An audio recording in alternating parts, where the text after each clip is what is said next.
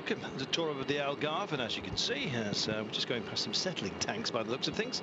Uh, not the prettiest sight then, perhaps, on what is uh, a bit of a day today. Uh, Moto 2 tells you that this is the chase down group at the moment, and it's been a busy old day up front. We've had a few escape bunches trying for it on this, what is described as the Queen stage, indeed. Uh, but a couple of riders decided to hit out and do more than a little hope. Um, how much longer they'll manage? Well, as you can see, it's uh, getting to the end, the end game today. Blel Kadri of AG2R, um, yes, who uh, run up on the Circuit de Sarthe. He'd had a, a, good old run. And Rabobank's Carlos Barredo, uh, as you can see as well, already swallowed up by the chasers. It's Sky that's doing most of the work today. And uh, doing most of the work today as well for us is uh, Mr. Brian Smith. Brian, welcome. Yeah, we're just, um, you know, on this stage at the right time. Uh, Team Sky have gone to the front. They've been uh, going well over the last couple of climbs. We are on the penultimate climb.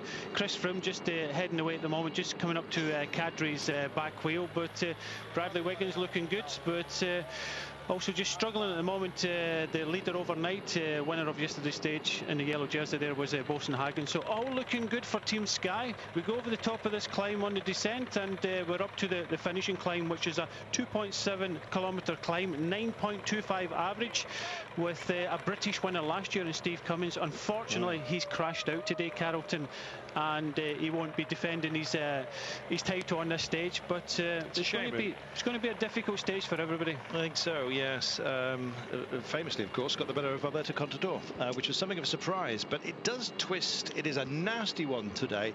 A real kick up to it, and um, it has several phases on some of the switchbacks here uh, that really can grind a rider down.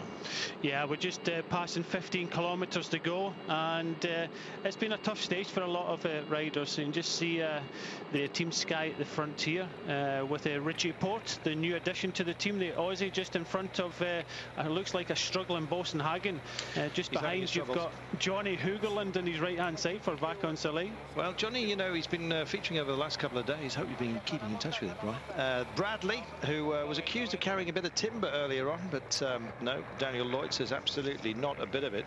He's got those abs good and properly exercised here, and the banners well, they just keep coming here. This is the chasing bunch, and Sky doing an awful lot of work today. Uh, Chris Froome, uh, the kind of key supporter, I guess you might say, for Bradley Wiggins, but Brad is looking reasonably comfortable today. It's always hard to read Bradley's mood, I've got to say. But um, yeah, it looks settled today. As for the Movistar boys, uh, in potentially uh, looking good today. He'll be uh, thinking as well the the longer game, uh, thinking about the uh, uh, time trialing later on in this one. Don't forget that's the the last day, the short one from Lagoa to Portimao. Today, incidentally, it's destination Malhão Loulé. Yes, sounds like something from Hawaii, doesn't it? Well, we've got the sunshine, but not the flowery shirts, perhaps. A little bit of downhill then as they kick down and get a bit of respite. There is a double bump to the final climb of the day.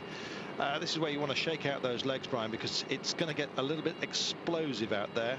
Uh, Froome, Bradley Wiggins, Thomas Lövkvist, uh, Sky, one, two, three. They'll like the sound of that.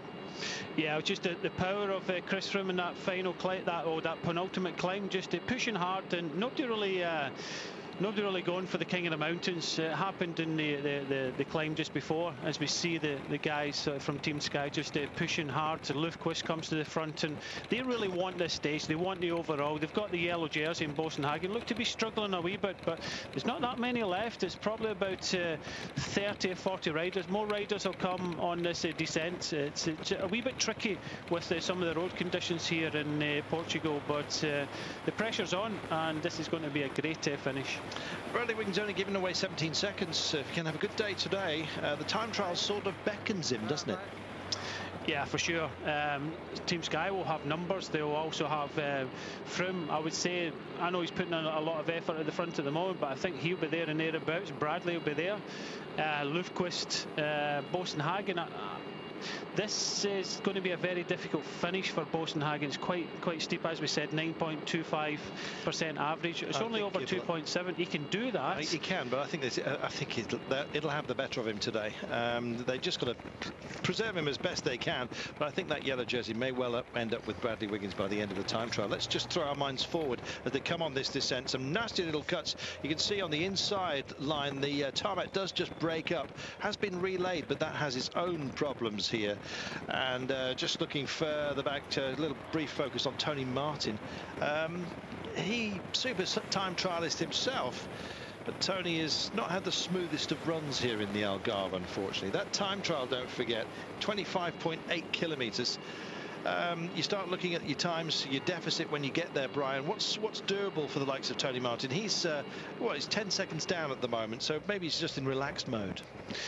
I'm not too sure. Um, Tony Martin's got the form at the moment. Mm. Um, he's here obviously to try and defend his title but he doesn't look in good shape he wasn't looking in good shape uh, a couple of weeks ago in the challenge Mallorca races so I would think that uh, Tony Martin is maybe having a bit more of a relaxed start of the season and maybe looking at you know some of the bigger goals thinking of the Tour de France and uh, I'm, I'm kind of uncertain that uh, it'll be up here in this climb well, uh, they're just uh, dipping and bobbing around here. Andreas uh, Kloden, um, of course, the Radio Shack boys here. Jan Bakelants uh, is here. Kloden uh, bidding for the overall. Chaco Montero, uh, Machado, I beg your pardon, Machado. He's at home. He may well have a little bit of a bid for glory, don't forget the Portuguese. Uh, we see some of the early escapes along the way today and um, gives us a chance, really, while we're on this respite just before the final climb to kind of tell you about it.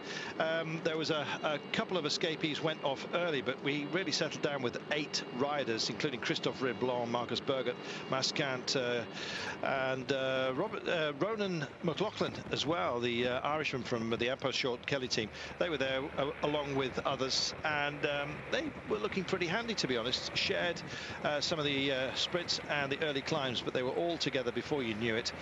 And when Sky have got the bit between their teeth, I think they're looking for glory again, you know. All right, they had a, a good start in Qatar. It's not really happened in Oman. And I think they want something to add to Boasson here. Uh, they've got big ambitions. They sent a quality team, Sky. And when you look through who is actually here for them, um, you stand up and take notice. There's Rui Costa for uh, Movistar. Um, that was Daniel Lloyd's pick for the sprint yesterday. Uh, this is uh, pictures a little bit earlier on when he's just putting some energy into his body. It's probably going to be um, Bruce that uh, does it for them today. We'll see. What about Lotto? Um, who are the Lotto boys could be uh, a focus today. We were surprised by Gianni Meersman um, and his sprint talent, the Belgian kind of unveiling himself here.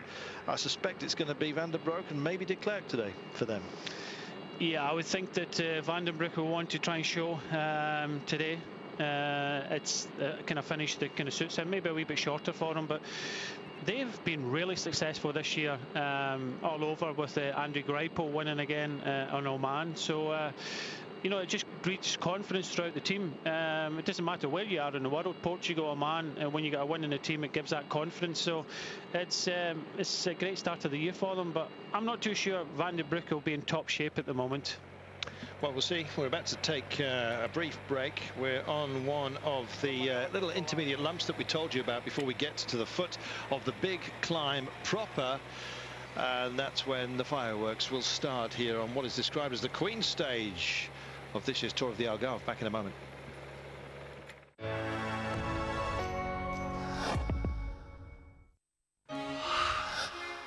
A fitting finale to the Track Cycling World Cup as the riders head to London for their first chance to race at the Olympic Velodrome.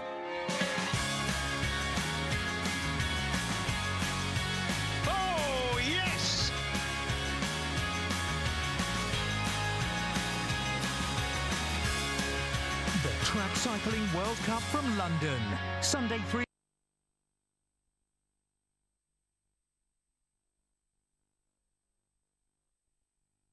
So it's down to Chris Froome at the front, followed by the yellow jersey of Boasson Hagen, just behind uh, Bradley Wiggins in third place and Richie Porte. So Richie Porte looks as if he's the rider being a bit more protected here, and uh, it's going to be an interesting final climb. Do you know what? I'd like, to, I'd love to see Bradley actually stretching his legs today and bringing it home. Do you want to make a? Well, he has. Well, looking at uh, the way they've set up at the moment, uh, Bradley has said in the press that he's way uh, way ahead of where he was uh, last year and you know look at what a great year he had mm. uh, but looking how they've set up uh, I would think that maybe uh, Richie Porte is the man that uh, can do something. For, but for me, you just mentioned him earlier, and we saw something of him. Uh, the Portuguese rider Rui Costa. Rui Costa's been up here in uh, in this stage before. He knows it. Uh, so is uh, Tiago Machado of Radio Shack. So Tejay van Garderen has been up in this stage before, knows it very well. So they're the sort of names we're expecting when it comes to the finish, mixed with a few riders. But just look at the size of the bunch now. It's, yeah. it's not what 40 odd riders now left left in the, this stage?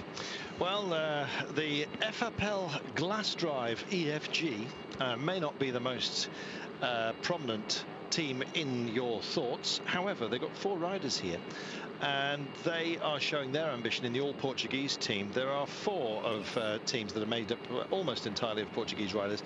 Strangely enough, all of them have one Spaniard, and one of them, the uh, Camim, has uh, Thomas Metcalfe Swift, which is uh, always nice. He lives locally and occasionally uh, gets the bike out when it comes to Portuguese events. And the Algarve, well, personally speaking, I think it's one of the best. It's a, it's a very tight and busy affair, and of course, it's got this terrific climb. It's a great one for the sprinters, and most of the teams have sent well, quite talented uh, to say the very least if you look at Sky. But uh, yeah, a, a, good handful of talent, I think you might say, as Boasson Hagen hits the front here and does a job uh, on one of the quickest sections here for Bradley Wiggins. I think Bradley Wiggins, who's already said this week, look, you know, uh, I love the way this team operate. It's uh, they've got rid of a lot of dead wood, he said, without pointing any fingers.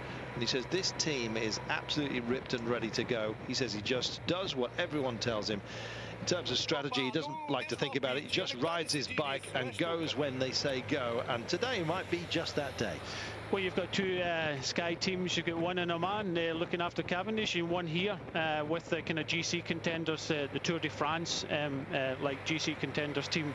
The way it's set up at the moment, you don't often see the yellow jersey ride at the front because um, you know, he won his stage yesterday and he's trying to defend uh, his lead, but just looking at uh, possibly winning the stage uh, with one of their um, guys that can time trial. And all these guys can, can time trial from Boasson Hagen, Bradley Wiggins, Chris Froome, and uh, Richie Porte. So they're the four guys at the front, but the way the Sky are set up with Froome at the front, followed by the yellow jersey of Boasson Hagen, Bradley Wiggins just sitting back a wee bit. He looks as if he's going to be looking after Richie Porte when it comes to this final climb. So for me, Richie Porte is the man that Sky are looking for. He can time trial and he's new onto the team, so they'll be probably getting them involved as uh, Chris Froome peels off in the front, only three Sky left.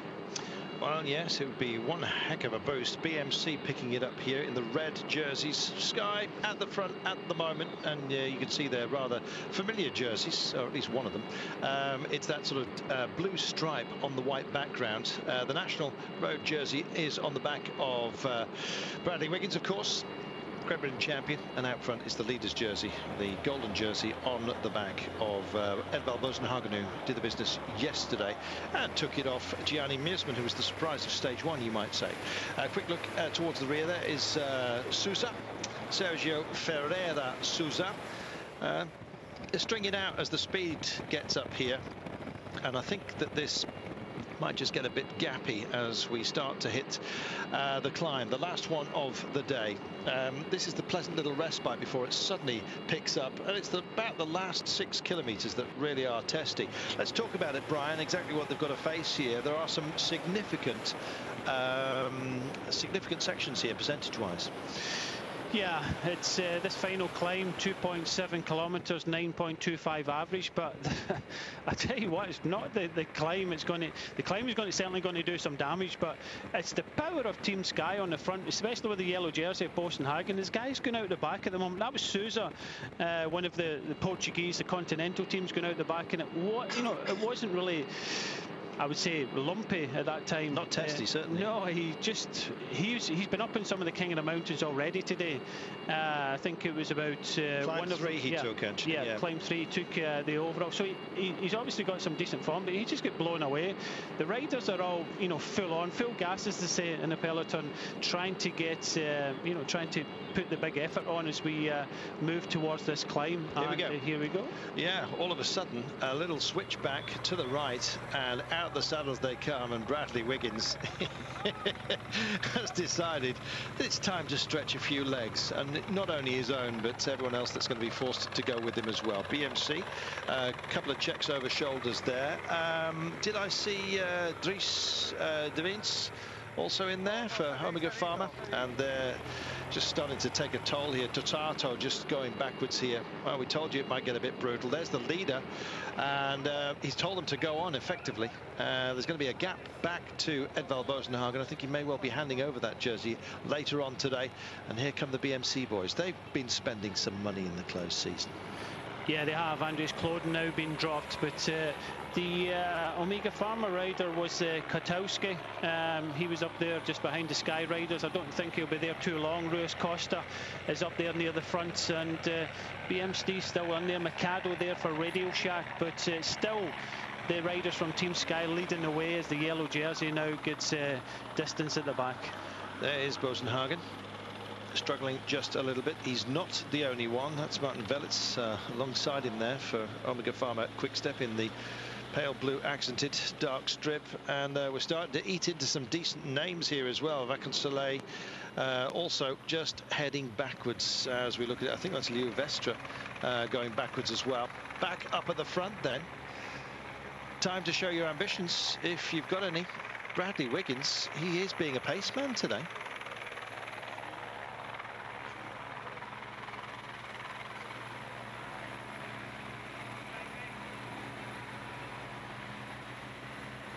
So at the head of proceedings and uh, Lotto throw is it Bar de Klerk into the uh, Van den Broeck also. They've got don't forget here. Back with uh, the 2k to go marker. It's not going to come quickly this one is it Brian no, it's a tough climb. You can just see everybody all over the place, and it's just, you know, the pace that they hit this climb over the last, uh, you know, 20, 30 kilometres. Uh, Team Sky have just, uh, you know, ripped into this peloton, set a really difficult pace, hit the bottom of this climb, and, uh, you know, Bradley Wiggins just took off. He's still at the front now, uh, huffing and puffing, but uh, on his wheel he's got Richie Porte. Richie Porte looks really good. Van den Broeck so up there for Lotto. Ruiz Costa, Machado up there in the fifth place.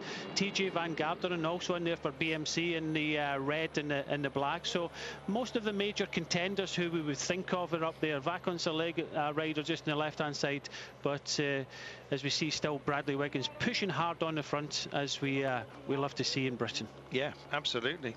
Uh, I'd like to see how Van den Broeck picks it up. Uh, does and Van den Broeck has a look. See who's responding. Can he respond? No, he can't.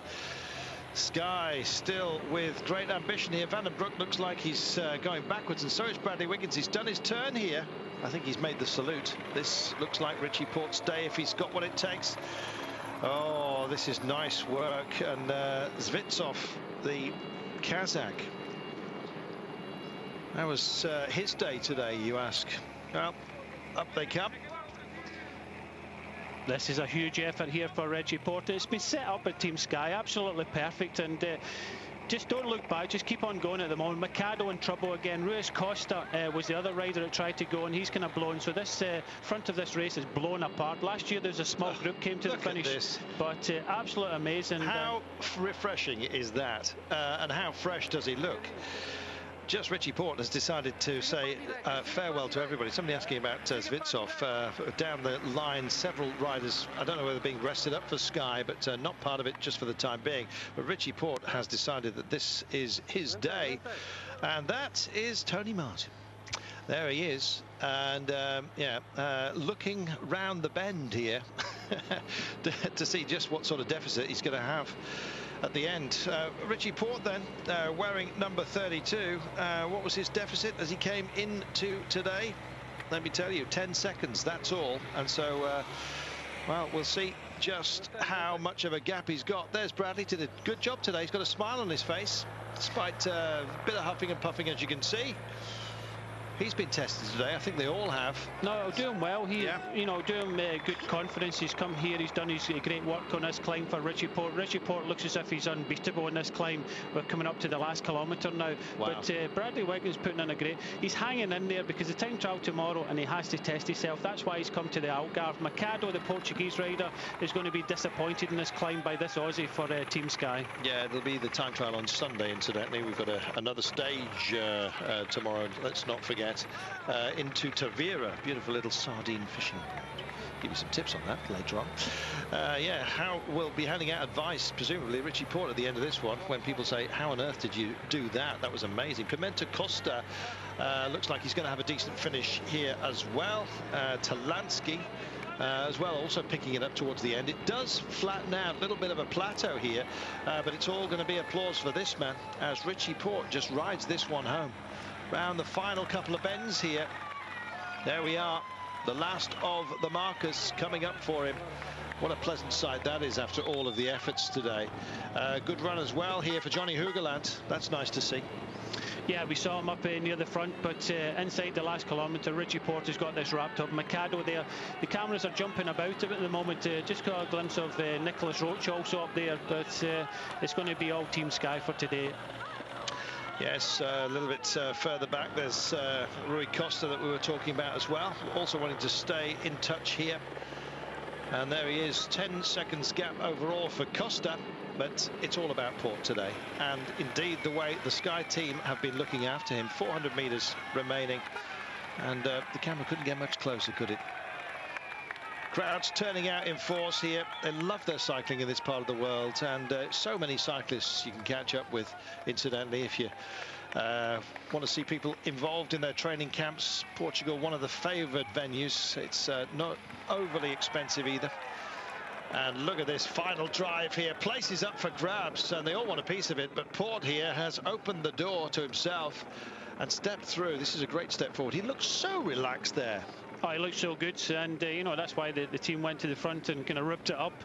And uh, you know Bradley Wiggins doing a terrific job there, but inside the last uh, few metres for Porte. The line beckons for him then. This will be a pleasant sight. Oh, look at that. Why not? Points to the sky as well he might. 40 kilometers per hour, the average speed today, and uh, just five minutes shy of uh, the five-hour mark. What a day that has been, a tough one. Yeah, that was Machado coming in there for Radio Shack just in front of Ruiz Costa, two Portuguese riders, so they'll be happy with that performance, but uh, performance of the day has to be uh, Richie Porter's Hoogerland comes in there and just behind him Wout Poels, uh, Van den Broeck for Lotto shakes his head, not happy with that. Yeah, it's, uh, it does kind of rip your heart a little bit. Uh, was that Hernandez as well, the Spaniard coming across the line? And uh, I think that was Silva who featured earlier on. Here is uh, here is Boasson Hagen, looking uh, like he's chugging just a little bit. A few more have been across the line in the meantime. Boasson Hagen did a good job out there. Um, clearly not his kind of day at this stage of the season, at least. Not the lumpiest day, not the biggest test climbing wise and uh, he'll have to face more than that this season well, unfortunately, or fortunately for him, he's uh, he's not one of kind of Cav's lead-out men. He is, uh, you know, he's a good sprinter of his own right. So he's with the kind of GC contenders like Le Bradley, Richie Porte, and Chris Froome. So he'll ride the harder races. But then again, he produced a great win yesterday. So you know, it suits him to be a bit lumpier. Uh, Will Cav and the rest of the uh, the other half of the team is Stijn Devolder comes over for uh, Vacansoleil, shaking his head. A lot of tired bodies there, but uh, yeah. Boasson Hagen uh, happy. Uh, he's got his place in these um, these teams in these kind of hillier races, and he can pick off a stage win like he did yesterday. Yeah, good work. Richie Porte then, Machado, uh, Rui Costa, Johnny Hoogerland, terrific fourth place uh, for the barbed wire battler. Uh, there is Wout Poels as well uh, his teammate from Vacansoleil, who seemed to be shining brightly this early part of the season. Jürgen Van den Broeck uh, managed sixth place to the head of Talansky Mendes. Bradley Wiggins just easing off the gas towards the end there. 39 seconds he gave away to Richie Porte today. That'll be a 29 second gap between the pair of them going into the time trial if they have the same time tomorrow. Nico Roche making up the top 10, not bad. Yeah, Nicolas looked uh, good. He looked good the other day in the first stage, getting up there in the top 10. Bradley, yeah, that's that's a good for what he did at the bottom of that mm. climb and the, the, you know, before the climb as well, um, hanging on there, which we thought we would. It's, it's good for him to be in there. He still stands a good chance. We've got a, a good stage tomorrow and a good time trial. He stands as a good chance of getting up there in the podium as well. Boasson Hagen looked a bit tuckered out by the end of today. Yeah, he put in a big, a huge effort before that final climb. It was, I think it was four, about four or five kilometres he was on the front, and there was guys going out the back. So mm. he uh, he done his uh, team proud today. Um, they held on to that um, uh, yellow jersey. He really stretched the bunch, didn't he? Yeah. Um, so they're having a, a very fruitful uh, uh, Walter Algarve, uh, winning the stage yesterday with this man here, Boasson Hagen. But this is the man of the day. Uh, Richie Portner doing it today for Sky. We'll have Brian Smith back with us on Sunday. Thank you for your company, Brian. Enjoyed it? Fantastic, great day for Sky. Yeah, super. They really are picking up the mantle of Pelham bosses. And we like that. We'll see you tomorrow from me, Carlton Kirby and Brian Smith. Thanks for your company. For now, bye-bye.